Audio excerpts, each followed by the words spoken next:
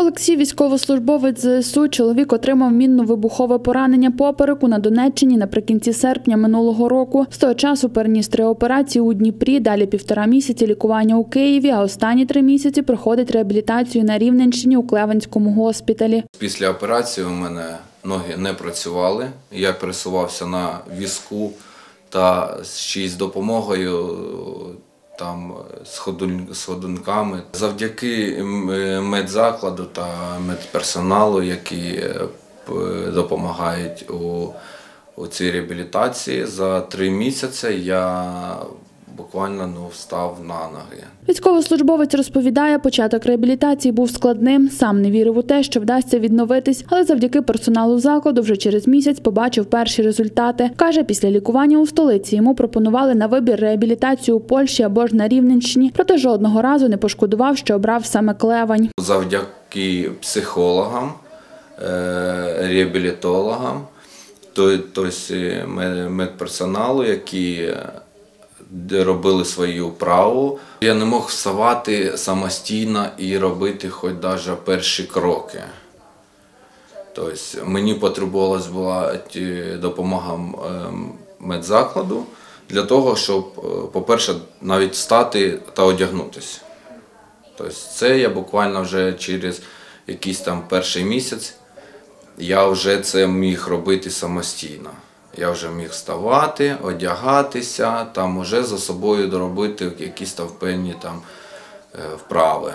Вражені роботою працівників медзакладу не тільки пацієнти військовослужбовці, а й іноземні колеги, які наразі перебувають в госпіталі у складі мультидисциплінарної команди фахівців ВООЗ, які допомагають нашим спеціалістам у реабілітації пацієнтів. Я восхищен Я вражений тим, як з невеликими технічними можливостями, які ми бачили у цьому госпіталі, люди творять дива, лікарі творять дива, медичний персонал творить дива для хлопців з травмами спинного мозку в Україні. З невеликими технічними можливостями, але величезним бажанням допомогти людям з травмою спинного мозку. Мене просто вразило. Я бачив, що мої українські колеги можуть чудово лікувати пролежні, больові проблеми у пацієнтів з травмами спинного мозку.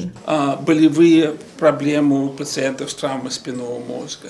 Ще з 2017 року у госпіталі працює республіканський центр лікування та реабілітації наслідків нейротравми. Проте з початку повномасштабної війни в країні кількість таких пацієнтів збільшилась, тому там запрацював ще й перший в Україні національний центр реабілітації наслідків нейротравм. Задача е, нас, як регіональної влади, сьогодні зробити тут центр підготовки реабілітологів, щоб е, е, медики, які тут працюють, ділились досвід е, досвідом з іншими, і ми відмасштабували такі е, центри по всій Україні і е, створили на Рівненщині такий хаб підготовки спеціалістів. Створювали національний центр реабілітації спінальної травми за підтримки Міністерства охорони здоров'я та ВООЗ, які ще з минулого року розпочали співпрацювати із госпіталем.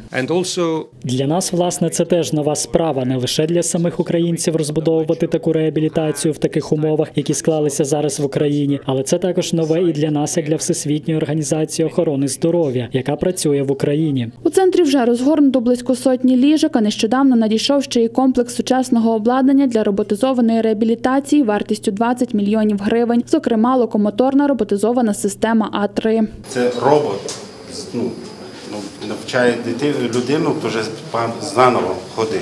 Як бачите, можна оцінити по програмі тестування провести, наскільки пацієнт може е, сам ходити і наскільки може сам апарат допомогти.